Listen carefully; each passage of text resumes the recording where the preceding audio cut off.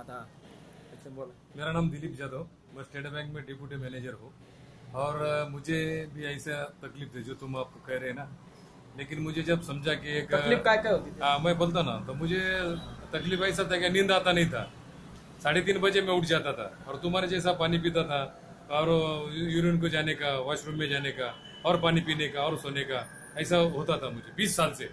Last twenty since twenty years लेकिन जब मुझे समझ में आया कि श्री आपने किरण वाटर जी आए, फिर मैं उनके पास आया, उन्होंने मुझे सब ये जो बताया रसार क्या है वगैरह तो फिर मैंने वो उनके सुन के दूसरे दिन से मैंने स्टार्ट किया, क्या रसार से क्या फ़ायदा है तो मैं वो उसका चिंता नहीं किया कि मुझे, मैंने उनको क्वेश्चन किया था कि मुझे नींद आएगा क्या, क्योंकि खाने के बाद भी मुझे नींद आता नहीं, कि मैं उसमें मेरा ब्रेक हो जाता है बीस साल से तो बोले तुम करके देखो, पंद्रह दिन ही करो, मैं जो बोल रहा हूँ, वो करने के बाद आपको अगर नींद नहीं आया, तुम्हारे पे कुछ फ़र्क नहीं गिरा तो तुम्हें छोड़ दो।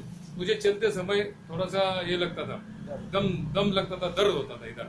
मेरे राइट लेफ़्ट साइड में चेस्ट में दर्द होता था। और दूसरी बात, मुझे ऐसा थकट होता था बहुत।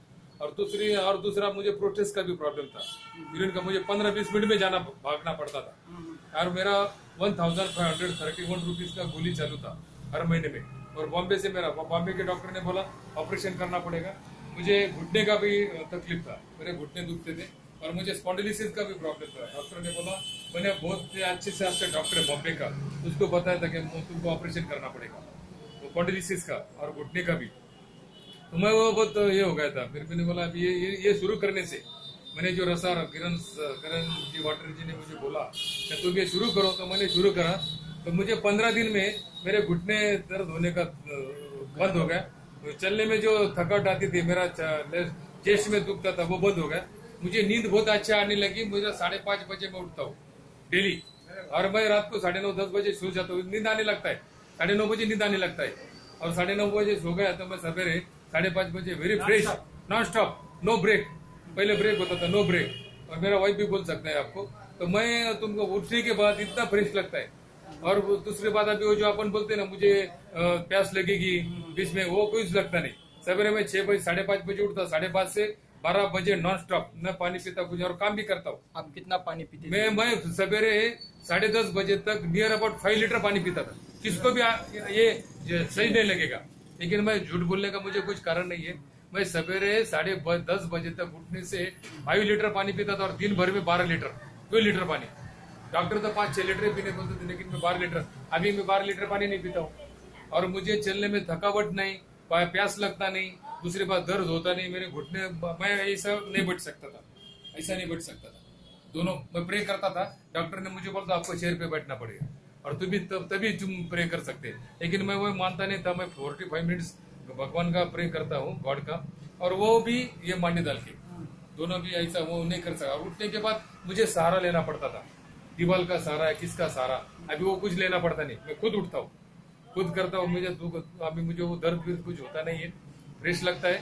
मेरा near about seven K ji wait fifteen days में। In within fifteen days में कम हो गया। विद इन फिफ्टीन डेज़ मेरा 94 था अभी एटी सिक्स पॉइंट फाइव है ओनली यानी सेवन के जी तक मेरे पंद्रह दिन में उतर गया।